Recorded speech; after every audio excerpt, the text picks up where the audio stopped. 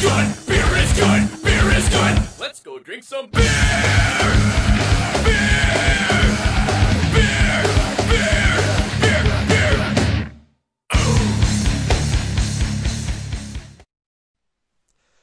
Hey folks, uh, Revolutionary Brewer here. Today we're going to have just a quick little beer review. Uh, the beer we're going to be trying today is a Munton's English Ale. And um, we're going to do a little bit uh, a different format. I'm going to put the recipe up right away. This is a beer that was just basically made with leftovers I had in the apartment, and it was made really cheap.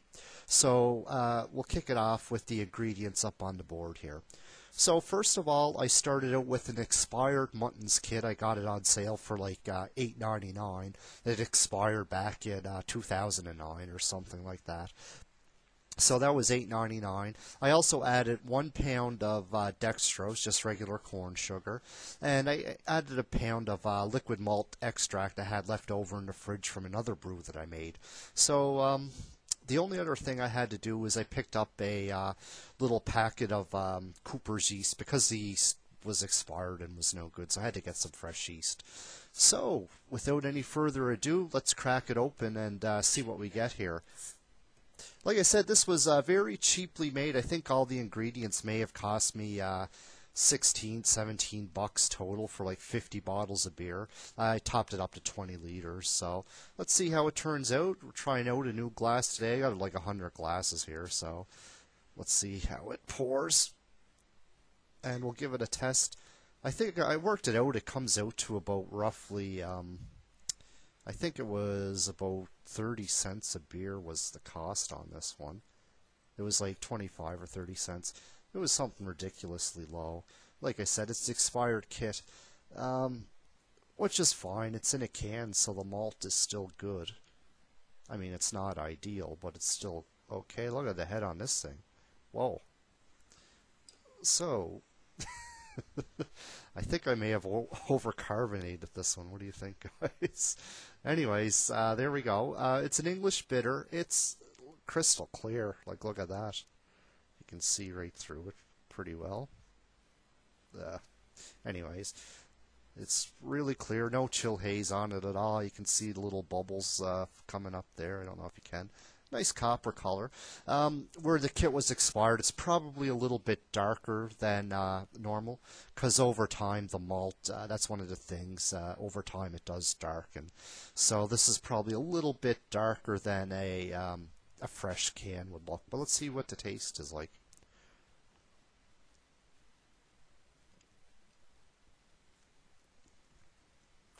Nothing wrong there for 30 cents. I'll tell you that great beer. It's a good it, it's a good beer. It's it's a solid beer. It's not it's not a great beer, but it's it's a very good beer. Um, I'll give it a three and a half out of I'd say three and a half out of five. Um, this is a beer that uh, it's a little bit darker. It's really crisp. I find it's it is actually a little bit bitter. It's a crisp, bittery beer. Um, maybe it's because of the fact I just used uh, one pound of malt with it and uh, a bag of sugar. Maybe it's just how I made it, but uh, it is a little bit of a bitter beer. Let's have another taste here.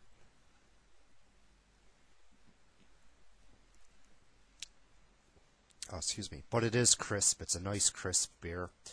Um, it's got it, it's pretty much. It's not actually. It's very similar to the uh, Cooper's English bitter kit. It's quite similar. Uh, there's not a whole lot of difference between to, between the two. Um, even the color is quite similar. I think the Cooper's is a little bit darker. Um, I don't even think. I think they're roughly the same color. Look, look how clear that is. You can see my face right through it. But anyways, um, I give three and a half out of five. This is the second uh, Muntons kit I believe that I made in this series, so um, we'll try a few more down the road. I've been fairly happy with the Muntons products. Uh, really, I just haven't brewed a whole lot of them, but there's nothing wrong. They seem to be a pretty decent product. We'll have some more coming up down the road. And uh, next up on deck, we've got another uh, brew that's made with uh, the fresh grains and hops, and this is going to be a honey brown uh, honey brown ale. And uh, it's actually brewed with a couple pounds of fresh Nova Scotia honey. And uh, like I said, it's got the fresh grains and hops, so stay tuned. Uh, like I said, one more time, three and a half out of five for the Muntons um, odds and ends beer. Uh, the Muntons English bitter odds and ends. Uh, take care, folks. Uh, cheers and keep on brewing.